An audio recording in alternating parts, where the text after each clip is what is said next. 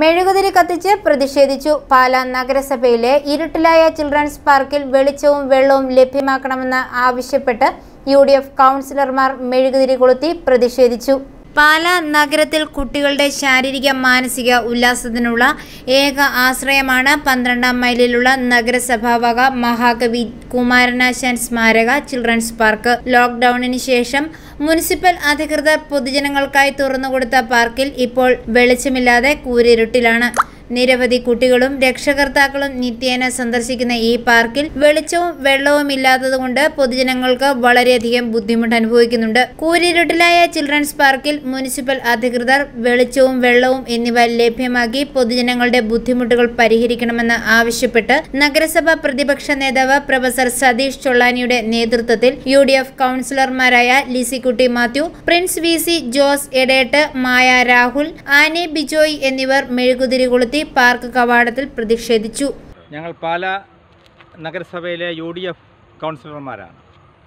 ഞങ്ങളിപ്പോൾ ഇവിടെ നിൽക്കുന്നത് മഹാകവി കുമാരനാശാൻ മെമ്മോറിയൽ ചിൽഡ്രൻസ് പാർക്കിലാണ്. ഞങ്ങളിപ്പോൾ ശക്തമായ ഒരു പ്രതിഷേധത്തിലാണ്.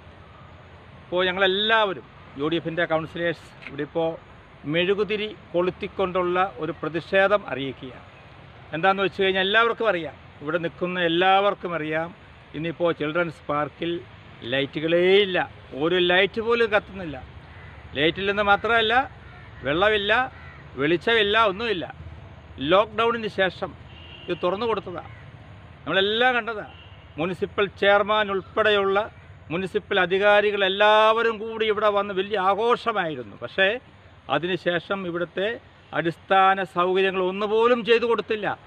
അടിസ്ഥാന സൗകര്യങ്ങൾ എന്ന് പറയുന്നത് പ്രധാനമായിട്ടും വെളിച്ചമാണ്. അതിനുശേഷം ഒരു ബൾബ് പോലും ഇവിടെ കത്തിയിട്ടില്ല. അതുപോലെ വെള്ളത്തിന്റെ കാര്യത്തിൽ നമുക്കറിയാം ഇവിടെ ഒരു കിണറുണ്ട്. കിണറിന്റെ ആ ലൈൻ എല്ലാം പൊട്ടിക്കിടക്കുക. ഇതുവരെയായിട്ടും അത് നന്നാക്കാനുള്ള ഒരു ശ്രമം പോലും നടത്തിയിട്ടില്ല. തികഞ്ഞ അലംഭാവം കാണിച്ചിരിക്കുക. എത്രയോ ആളുകളാണ് ഇവിടെ വരുന്നത്. വാസ്തവത്തിൽ പാലാ നഗരസഭയെ സംബന്ധിച്ച് ഇപ്പോൾ കുട്ടികൾക്കും രക്ഷിതാക്കൾക്കുമൊക്കെ പോകാൻ പറ്റിയ ഒരിടം എന്ന് പറയുന്ന പാലാ നഗരസഭയിൽ ഈ ചിൽഡ്രൻസ് പാർക്ക് മാത്രമേ ഉള്ളൂ. ടൗണിൽ നമുക്കൊരു പാർക്കുണ്ട് ആർ വി പാർക്കാണ് അത് കാട് കയറി കിടക്കുക. ഇവിടെ എത്രയോ ആളുകളാണ് വരുന്നത്. വരുന്ന ആളുകൾക്ക് ആറ് ആറരയാകുമ്പോൾ ഇത് പൂട്ടുക. ഐഫോറിയ ന്യൂസ് പാലാ.